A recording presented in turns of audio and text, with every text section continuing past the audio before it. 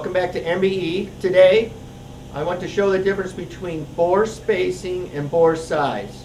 I know it seems like a simple thing, but you know, if you don't talk about it, not everybody does know about it.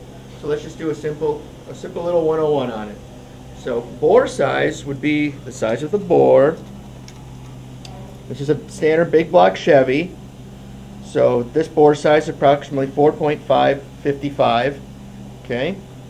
Bore spacing is the distance between the center of this bore to the center of this bore. So a big block Chevy is 4840 bore spacing.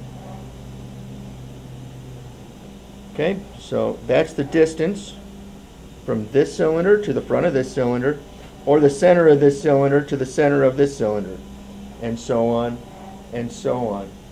Um, good to know on bore spacing when you're machining things is most bolt holes are machined on bore center. And that goes for big block Chevy, small block Chevy, any head, any head. So here we are. The spacing of the bolt holes is 4840, 4840, so which is bore spacing. And now that is the difference between bore size and bore spacing. A, a simple a 4840 is a big block Chevy, 4900 is a big block Ford.